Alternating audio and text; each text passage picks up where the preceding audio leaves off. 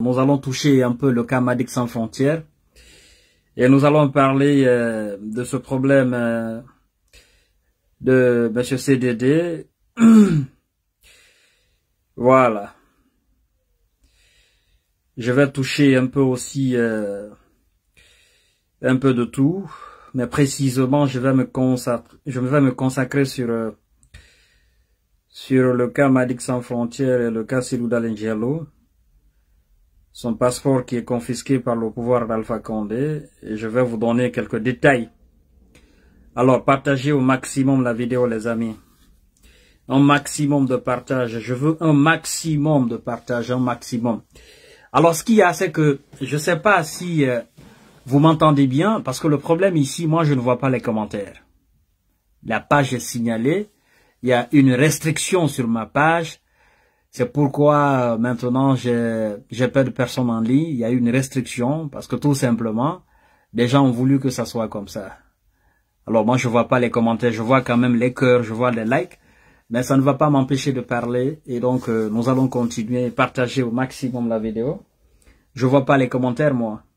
Je sais pas ce que vous dites dans les commentaires et ce que vous ne dites pas, mais moi je ne vois pas. C'est pour vous dire encore une fois que quand M. Kanté parle, ça fait mal aux gens. Ça leur fait mal tout simplement parce que je casse les papos. Ça fait très très mal quand ils me voient en ligne. Ils sont mécontents ces gens-là. Donc les amis, partagez au maximum la vidéo s'il vous plaît et bienvenue à tout le monde, bienvenue, bienvenue, bienvenue. Taguez-moi tous vos amis et partagez la vidéo dans les groupes différents. Nous allons réagir par rapport à l'interview de notre cher euh, Malik Sans Frontières sur les sur les, les ondes d'espace FM. Et nous allons parler aussi euh, de la confiscation du passeport de Célou, ce que dit la justice guinéenne par rapport à cela. Voilà. Parce qu'il y a une procédure qui a été entamée pour qu'on le redonne son passeport, mais jusqu'à présent, il y a gain de cause. Et donc, nous allons parler de ça. Mais bien avant cela, je vais faire un briefing sur le cas Madik sans frontières. Donc, partagez au maximum, au maximum la vidéo, les amis. Bienvenue à tout le monde. Et bonsoir à vous. Je vois actuellement euh, bon nombre de jeunes Guinéens surtout ceux qui sont issus de l'opposition, qui dénoncent matin, midi, soir euh, la gestion calamiteuse de M. Alpha Condé, euh, s'enflammer par rapport euh, aux propos de Madik Sans Frontières. D'accord? Vous savez que Madik Sans Frontières a été libéré et il est passé dans les ondes de, de Grande Gueule, de Espace FM. Et donc, il y a eu beaucoup de choses moi, pratiquement, je l'ai pas suivi. D'accord? Je l'ai pas suivi. J'étais quand même, euh, j'étais, ravi de sa libération. Pratiquement, je l'ai pas suivi. Sincèrement, jusqu'à présent, euh, je l'ai pas suivi. J'ai des, des, abonnés qui m'ont envoyé quelques extraits de son, de son passage euh, euh, dans les, dans les grandes gueules. Alors, mesdames et messieurs, comme vous constatez, dans ces deux derniers temps, et comme je vous ai dit la fois dernière que monsieur le despote va se livrer euh, euh, à un jeu de grâce, grâce, grâce, c'est ce qu'il continue d'ailleurs à le faire parce qu'il veut se faire un nom, comme je l'ai dit la fois dernière. Et donc, euh, ce qui a choqué beaucoup les militants de l'UFDG et quelques jeunes Guinéens conscients qui suivaient durant toute la période électorale en Guinée, Malik sans frontières, et bien avant même ceux qui le suivaient, parce que il avait entamé ce combat politique, d'accord? Et la plupart des abonnés de ce monsieur sont aujourd'hui euh, euh, un peu un peu déçus, quoi, un peu déçus de lui par rapport, euh, ok, à sa sortie. Mais vous savez, il n'y a pas longtemps, voilà, disons même avant-hier, j'ai une belle dame qui m'a appelé pour pour intervenir là-dessus. on était en ligne comme ça, c'était pas en live. Moi, ce que j'ai envie simplement de dire aux gens, ce que j'ai envie de dire aux gens, c'est pourquoi je vous dis de ne pas juger Madik sans frontières.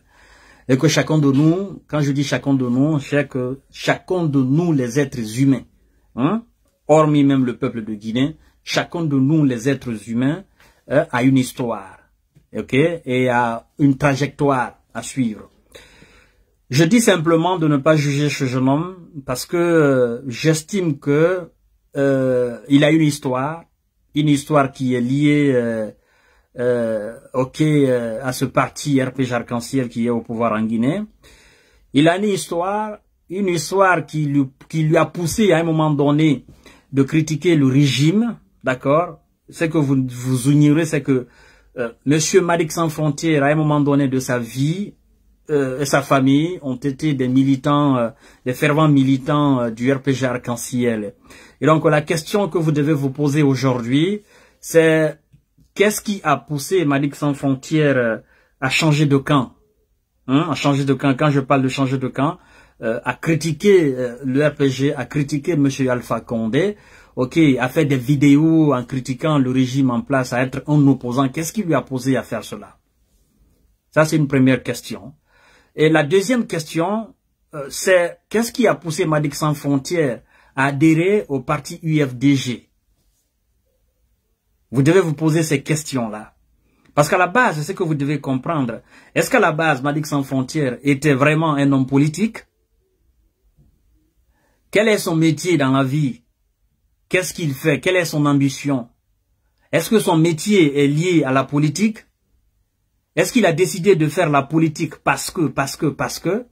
Est-ce qu'il a décidé de, de parler du régime d'Alpha Condé, de la malgouvernance d'Alpha Condé parce que, parce que Est-ce que vous avez cherché à comprendre les parce que, parce que? Parce que ce que vous devez comprendre, euh, quand on suit un peu la trajectoire de Madik Sans Frontières, on suit un peu, euh, euh, ok, son emprisonnement, on suit un peu les réactions de ses parents, on suit un peu ceux qui connaissent la famille de Madik Sans Frontières, euh, il est sans équivoque, nous pouvons l'avouer sans équivoque, voilà, ils font partie des militants des, premières heures du RPG Arc-en-Ciel. D'accord? Le père et la mère, toute la famille, font partie des militants, ok, des premières heures du RPG Arc-en-Ciel. Alors, qu'est-ce qui a poussé Monsieur Madik Sans Frontières à s'opposer à son propre parti politique qui est, qui est le RPG Arc-en-Ciel? Qu'est-ce qui lui a poussé? Moi, c'est la question que je me pose. Qu'est-ce qui lui a poussé? Parce que vous savez, il est très facile de... Euh, ok, il est très facile de tomber dans l'émotion, il est très facile de juger les gens. Mais avant de juger les gens, il faut se poser beaucoup de questions. Beaucoup de questions euh, objectives, beaucoup de questions rationnelles euh, vous mettez de côté l'émotion, d'accord Vous vous posez des questions rationnelles avant de vous lancer dans une, euh, ok, dans un jeu de jugement. Parce que moi, je n'aime pas juger les gens. Je n'aime pas juger les gens, c'est ce que j'ai dit à la dame.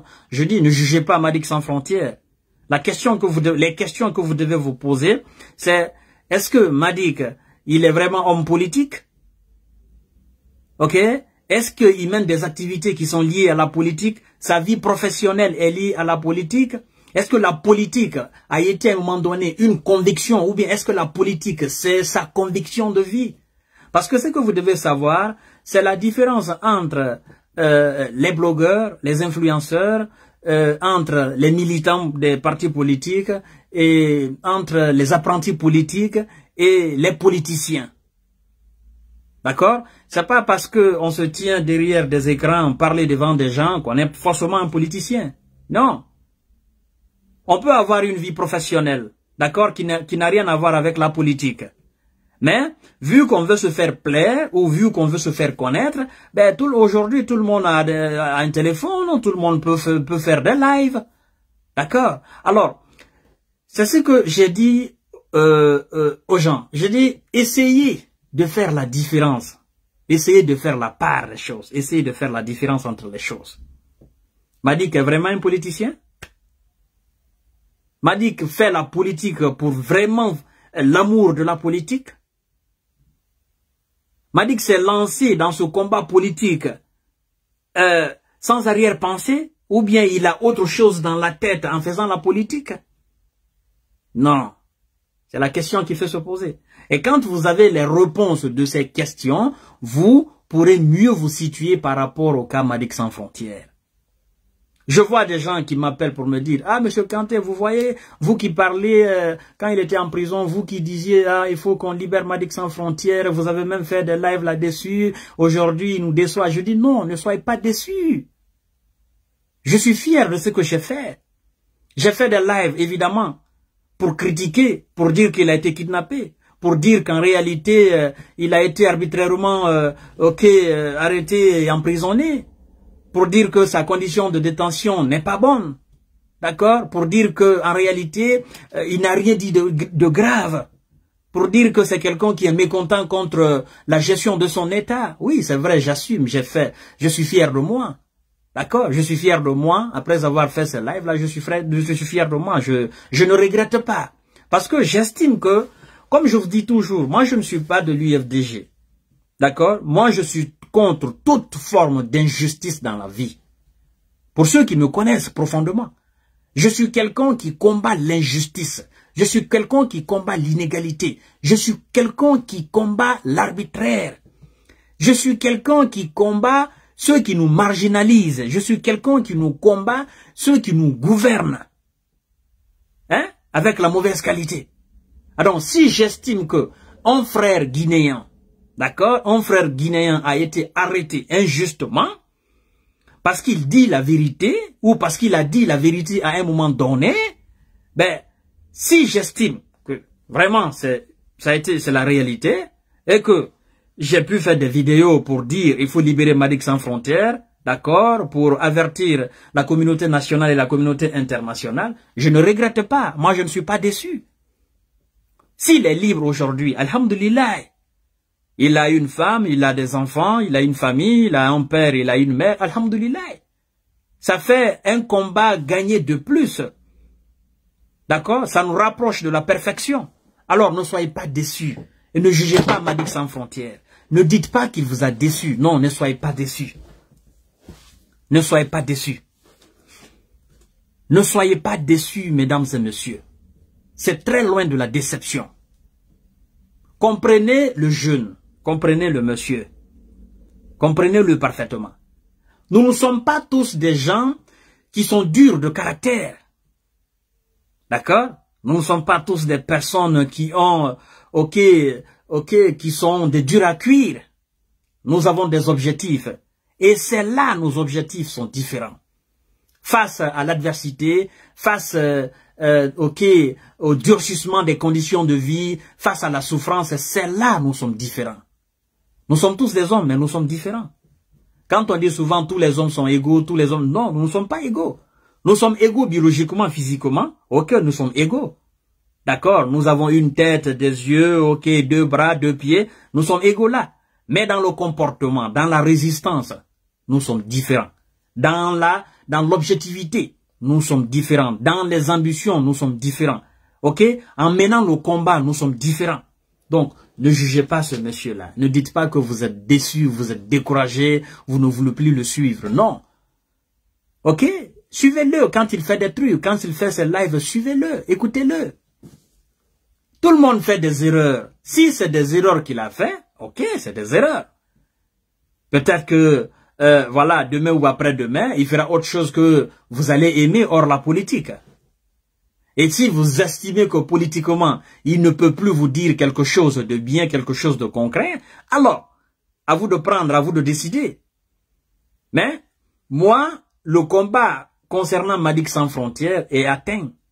C'était pour sa libération. Et il est libre. Il est libre aujourd'hui. Alors, même si demain, on le prenait, on le mettait en prison, je ferais aussi le même combat. Si j'estime qu'il a été arrêté arbitrairement, je ferai le même combat pour sa libération parce que je combats l'injustice, toute forme d'injustice. Ok? Aujourd'hui, je fais des trucs pour dire que Foudike Mengue ne mérite pas la prison. J'ai parlé d'Ismaël Condé. J'ai parlé de tous ses camarades détenus politiques en Guinée. Ben, qu'ils sortent, qu'ils soient libres. Ok? Qu'ils fassent autre chose, ça c'est pas moi mon problème. Moi, mon problème, c'est de dénoncer et c'est de continuer à dénoncer réellement les kidnappings en Guinée, toute forme d'injustice et d'inégalité. Alors, mesdames et messieurs, ça c'est un premier point. Un deuxième point, vous êtes des jeunes peut-être, vous êtes des vieilles personnes euh, beaucoup plus âgées que nous autres, c'est que je voudrais vous dire, moi je ne suis pas un politicien. D'accord? Madik non plus n'est pas un politicien. Ok? Il n'est pas un politicien.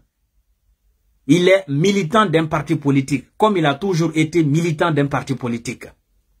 Cela ne fait pas de lui un politicien. Être militant d'un parti politique, cela ne fait pas forcément de toi un politicien. Célou Dalin est un politicien. Alpha Condé est un politicien. D'accord Faya Milimono est un politicien. Ils ont des militants, ils ont des sympathisants. D'accord? Alors, s'il estime qu'il est communicant d'un parti politique et qu'il a dit des choses qu'il regrette, ok, c'est lui qui le dit. C'est lui qui faisait. Ok, c'est lui qui faisait des lives. S'il estime qu'aujourd'hui, avec le recul et à la prison, il estime qu'il a fait des erreurs ou qu'il reconnaît, nanani, nanana, ben, c'est son verbe. C'est pourquoi je vous dis, avant de faire quelque chose dans la vie, il faut réfléchir. Avant de prendre des décisions, il faut réfléchir. Avant de faire quoi que ce soit, il faut réfléchir avant de faire les choses. C'est très très important pour ne pas regretter. Parce que je ne peux pas estimer que quelqu'un, à un moment donné de sa vie, soit là à dire « j'assume mes propos ». Oui, j'assume mes propos, je l'ai fait, j'assume mes propos. Et qu'à un moment donné, la même personne vient devant des gens pour dire, oui, j'ai commis des erreurs, oui, c'est ça, oui, je reconnais. Ok, vous savez, euh, c'est bien de reconnaître ses erreurs. Mais quand vous dites j'assume mes propos, il faut être un homme. C'est très important. Moi, je ne peux pas vous dire aujourd'hui, j'assume mes propos. Tout ce que je dis, j'assume mes propos. Et que demain ou après-demain, on me prend, on me met en prison, que je vienne devant vous, je reviens devant vous pour vous dire, j'ai fait des erreurs, nanani, nanana, mais vous allez me prendre, vous allez me considérer comme un, plaisantin, comme quelqu'un qui n'a pas d'ambition, comme quelqu'un qui n'a pas de trajectoire, comme quelqu'un qui cède facilement euh, dès que euh, la condition de vie euh, est durcie. D'accord? C'est pourquoi nous sommes des hommes. Et quand nous décidons de faire la politique ou de nous lancer dans cette bataille politique, il faut assumer. C'est très important d'assumer. Je vois plein de jeunes Guinéens, Africains, qui parlent souvent de Nelson Mandela. Moi-même, je parle de Nelson Mandela. Mais vous savez, tout le monde ne sera pas Nelson Mandela. C'est impossible. Tout le monde ne sera pas Nelson Mandela. Les Nelson Mandela, c'est chaque 50 ans ou chaque 100 ans pour qu'on revoie un nouveau Nelson Mandela. Ok? C'est comme dans le football. On a vu Pelé, on a vu Diego Maradona, on a vu Zinedine Zidane. Ok? C'est des gens qui sont uniques en leur genre. On a vu tout récemment dans les, ok, dans les, euh, dans les décennies, euh, ok, euh, passées là, on a vu Cristiano Ronaldo et Lionel Messi. Maintenant, pour voir des gens comme ces gens pareils-là, il faut, ça prend des années. Alors, tout le monde ne sera pas Nelson Mandela. Tout le monde n'aura pas la peau de Nelson Mandela. Tout le monde n'aura pas la mentalité de Nelson Mandela. Tout le monde ne pourra pas résister comme Nelson Mandela. Mais, hélas, il faut être un homme. Il faut être un homme, c'est très important. Il faut s'assumer, c'est très important. Il faut savoir qu'à partir du moment où on est écouté par plus de 1000 personnes, Mille personnes, je dis bien. Parce que les mille personnes qui nous écoutent, ok? Parmi ces mille, il y a des vieux. Parmi ces mille, il y a des intellectuels de haut niveau. Parmi ces mille, il y a des enfants fragiles. Parmi ces mille, il y a des gens qui sont très émotifs. Parmi ces mille, il y a des personnes euh, malades. Parmi ces mille, il y a tout genre de personnes. Et quand vous êtes écouté par mille personnes, il faut savoir que vous n'êtes pas n'importe qui. Il faut mesurer ses propos. Il faut savoir que parmi ces mille, il y a au moins 500 qui ont confiance en ce que vous dites. C'est pourquoi on dit souvent les influenceurs. Quand moi je dis quelque chose ici, ben, les gens ils considèrent, les gens ils écoutent. Il y en a qui, qui, pratiquent, il y en a qui appliquent à la lettre ce que je dis. Donc, il y en a qui me prennent pour, comme un exemple. Il y en a qui disent que M. Kanté, vous êtes une référence pour nous. Alors, si je suis une référence pour, pour, par, pour 5, euh, 500 personnes ou pour 1000 personnes, il faut que je contrôle ce que je dis. Il faut que je sois capable d'assumer ce que je dis et ce que je fais et ce que je veux faire dans l'avenir. Il faudrait pas que face à une situation aussi euh, minime, que je sois quelqu'un qui est facile à céder. Parce que vous savez, ce qui est dommage dans l'affaire, c'est que à chaque fois que M. Madik faisait des vidéos, il y a plus de 100 000 et quelques personnes qui écoutaient ces vidéos à travers le monde entier.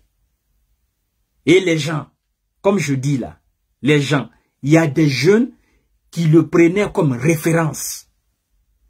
Il y a des jeunes qui rêvaient être comme lui. Il y a des gens qui croyaient vraiment en lui pour dire que c'est un dur à cuire.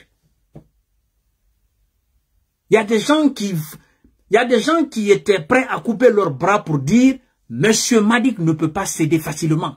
Je suis prêt à couper ma main où que vous soyez, mais je sais que cet homme n'est pas un faiblard. Même si on le prend, on le met en prison, je sais que c'est un dur à cuire. Je sais qu'il ne va pas céder facilement. Et je sais aussi qu'il ne peut pas faire volte-face pour nous tenir un discours aussi sans queue ni de tête. C'est ça, mesdames et messieurs. Et aujourd'hui, parmi ces 500 ou ces 1000 personnes qui ont écouté l'interview de M. Madik Sans Frontières à travers, ok, euh, les grandes gueules, parmi ces 1000, il y a au moins 800 personnes qui sont déçues par rapport à cette sortie. Il y en a qui disent, mais écoutez, c'était très simple, qu'il ferme sa bouche et qu'il rentre au Canada. C'est simple que ça. Que de sortir faire un discours comme ça. Mais il nous a déçus. Il y en a qui disent, il nous a déçus. Il y en a qui disent, je ne vais plus l'écouter. Je ne vais plus le considérer. Il ne peut plus rien me dire. Il ne peut plus rien me raconter. Je me souviens encore, il y en a qui disent, mais je me souviens encore, c'est lui qui disait, ah, nous allons faire ça, nous allons faire ça, je suis prêt à faire ceci, je suis prêt à faire ça. Il y en a qui disent, mais écoutez, il a fait juste huit mois de prison et puis c'est fini. Il a changé de face. Non. Il n'a pas changé de face. Ce que vous devez comprendre, c'est que Madik faisait les lives pourquoi Madik menait le combat politique pourquoi Qu'est-ce qui a poussé Madik? Ce qui lui a poussé à critiquer Alpha Condé, à critiquer la gouvernance d'Alpha Condé, à critiquer la mauvaise gestion d'Alpha Condé. Si aujourd'hui, cette chose est, devenue, oh, c'est-à-dire Alpha Condé a satisfait cette chose, si le gouvernement d'Alpha Condé a satisfait cette chose aux yeux de Madik Sans Frontières, peut-être que eh, il se dit, ça sert plus à rien, parce que je critiquais le gouvernement d'Alpha Condé à cause de ça. Alors, à partir du moment ça est réglé, cette chose est réglée, moi je ne fais plus critique. D'accord? Moi je suis satisfait.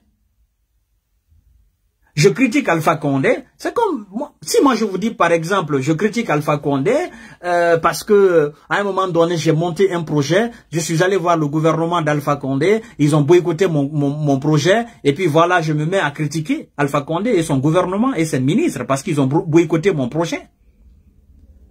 Et le jour qu'ils vont réaliser, ils vont accepter mon projet, si je fais volte-face, vous qui me suivez, vous allez dire, mais monsieur Cantu, on vous comprend pas. Mais moi, je me comprends.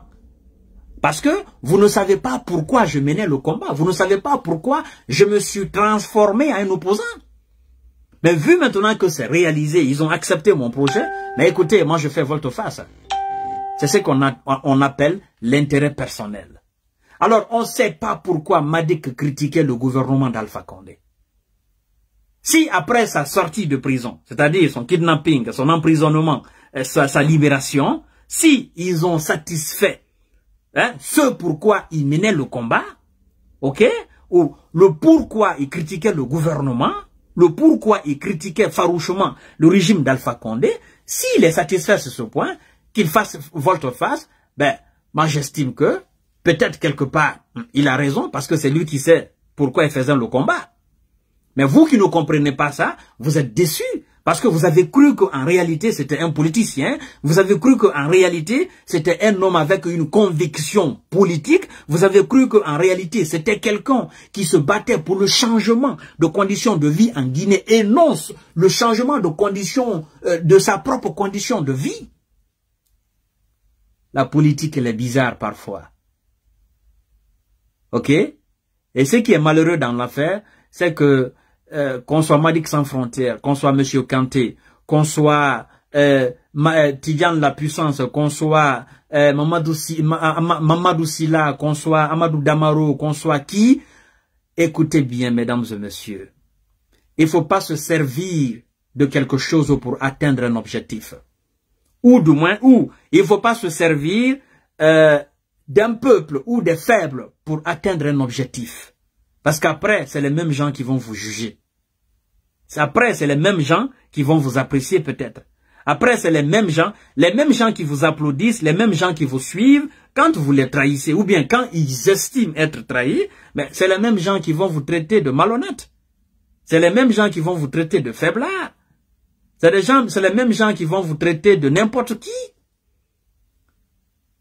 Et étant jeune, on n'est pas de vieux. On n'a pas 60 ans, on n'a pas 50 ans, on n'a pas 70 ans, on n'a pas 80. Nous sommes des jeunes, des jeunes de la quarantaine. D'accord? Il y en a qui sont de la trentaine, il y en a qui sont de la vingtaine. Alors quand vous faites quelque chose, quand vous décidez de, de vous lancer dans ce combat politique, ne considérez pas ces lives comme des simples jeux. C'est pas du jeu. Aujourd'hui, moi je suis écouté en Chine. Je suis écouté en Allemagne. Je suis écouté au Canada. Je suis écouté euh, au Japon, en Philippines. Je suis écouté, écouté en Australie. Je suis écouté un peu partout à travers le monde. Ok? Alors, je ne vais pas me permettre de faire certaines choses. Parce que vous faites souvent des choses, vous dites souvent des choses, ça plaît aux gens. Vous faites souvent des discours. Vous frappez souvent certains sujets qui faisaient mal. Et les gens écoutent. C'est comme une thérapie. Vous parlez de l'injustice. Des gens qui vivent dans l'injustice. Mais c'est comme une thérapie. Je prends l'exemple sur Moussa Dadis Kamara, l'ex-président de la Guinée. À l'époque, on disait Dadis Chaud. Mais il faisait souvent des sorties, mais c'est comme si M. Dadis Kamara, il, il, grattait là où ça démangeait. Il frappe souvent les anciens ministres, tout ça là. Il parle d'une certaine manière, mais les Guinéens l'aimaient à un moment donné. Parce qu'il frappait là où ça faisait mal et là où ça faisait, là où ça faisait plaisir. Ça, ça, ça, ça donnait envie d'écouter Moussa Dadis. Alors quand vous êtes un influenceur, eux que vous frappez souvent l'injustice, vous frappez souvent l'inégalité, mais ceux qui vivent dans l'inégalité, vous les soignez, c'est comme de la thérapie. Et quand vous venez, vous venez vous asseoir devant les mêmes gens pour tenir un autre discours, mais vous les reblessez. C'est comme si vous prenez le couteau, vous mettez dans leur plaie. C'est comme si vous vous foutez de leur gueule. C'est comme si vous les considérez comme des simples torchons. C'est là c'est très important quand on est influenceur. C'est très important de tenir compte de tous ces aspects-là. C'est très important. Je ne fais pas un jugement de valeur. Je ne juge pas Madik.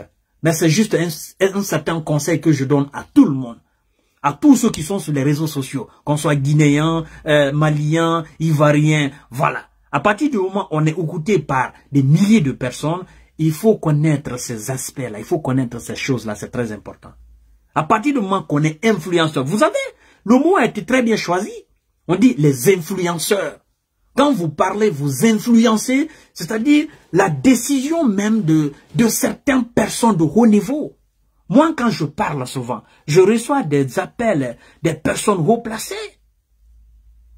Il y en a qui me disent, mais, Monsieur Kanté, vous, vous, avez, vous avez bien vu la chose là.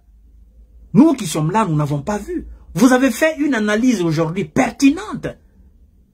Vous avez complètement changé ma décision. Il y en a qui me disent, Monsieur Kanté, mais grâce à vous aujourd'hui, on comprend mieux la politique. C'est pour dire quoi? C'est pour dire qu'à chaque fois que M. Kanté fait des vidéos, il influence sur la décision de certaines personnes. Alors, ce qui sort de la bouche de M. Kanté doit dorénavant être contrôlé. Parce qu'il sait dans sa tête que ça va jouer sur la décision de certaines personnes. Et il n'a pas plus de valeur que ces personnes-là. Il ne dépasse pas ces personnes-là en qualité humaine, en qualité intellectuelle, en qualité sociale. Mais il est considéré, ces personnes-là le considèrent. Ils estiment que M. Kanté a une tête. M. Kanté, il réfléchit bien. M. Kanté, il fait des analyses. M. Kanté, c'est un homme qui est mûr, c'est un homme mature. C'est un homme qui a une vision claire.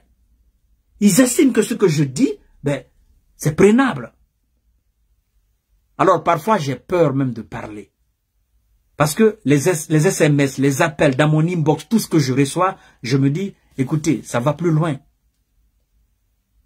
Mais vu que c'est ma conviction d'être un homme politique, et non pas seulement, euh, ne pas seulement me limiter à faire des lives et tout ça, vu que c'est ma conviction de vie, alors je me dis, vas-y, ne recule pas. Parce qu'au final, c'est l'objectif. C'est pas, l'objectif n'est pas être un blogueur, ni un simple influenceur. L'objectif, c'est d'avoir des qualités réelles et de servir mon État en tant qu'homme d'État. Ça, c'est l'objectif final. D'accord? C'est pas seulement me limiter ici en France, euh, parler devant des gens, être aimé. Non. L'objectif final, un jour, c'est de rentrer en Guinée et d'apporter ma petite contribution à la construction de l'édifice guinéen. C'est ça l'objectif, en tant qu'un homme d'État. Alors, ce que je fais aujourd'hui, tout ce que je dis aujourd'hui, il faut que ça soit contrôlé. Alors, quel est l'objectif de Madik? Quel est l'objectif de Tidjan la puissance? Quel est l'objectif de M. Damaro? Bien évidemment, je parle de Damaro fils. Quel est l'objectif de Mamadou Silla? Quel est l'objectif de Tigui? Quel est l'objectif euh, euh, du général? Quel est l'objectif euh, de M. Fofana? Tous qui sont aujourd'hui blogueurs, quels sont leurs objectifs? Est-ce qu'ils vont se limiter seulement à parler devant des gens? Ou est-ce qu'ils comptent un jour faire quelque chose autre que ça politiquement en Guinée? C'est ça. Nous sommes différents dans l'objectivité. Nous sommes tous des hommes, mais nous sommes très différents dans l'objectivité. C'est ce qui nous caractérise. Alors ne jugez pas Madik sans frontières, s'il vous plaît. Ne soyez pas découragés. Cherchez juste à comprendre quelle est son ambition de vie. C'est justement ça. Si son ambition de vie est d'être un homme politique dans le vrai sens du mot, et non dans le sens figuré, mais dans le vrai sens du mot, il veut être un homme politique, serviable, faire quelque chose pour son État, ou Justement, il s'est servi de la politique pour avoir de la notoriété et pratiquer notre métier, servir son peuple d'une autre manière, ben, c'est aussi bien. Mais s'il veut évoluer dans, un autre domaine, autre que la politique, alors qu'il fasse ce domaine. D'accord? Vu qu'il est maintenant connu, qu'il continue dans ce domaine. Parce que vous savez, la politique peut nous donner du poids. La politique peut aussi nous détruire. Même si demain ou après-demain, M. Madik sans frontières, il va dans un autre domaine, il veut évoluer là, ceux qui l'ont connu en tant qu'influenceur sur la scène politique, qui ont été déçus, vous pensez que les mêmes feront, le feront confiance là? Ça va être difficile. C'est pourquoi je vous dis, chaque présent de l'homme constitue son histoire de demain. Et l'homme, c'est son histoire. Le nom que tu laisses dans ton présent, c'est ce nom-là qui, te suivra, qui te suivra demain. Évidemment, c'est ça. Alors, réfléchissons avant de faire des choses en tant que jeu. Mesdames et messieurs, c'était ces quelques précisions que j'avais à vous donner par rapport euh, euh, à la sortie de Madik sans frontières euh, dans, dans les grandes gueules.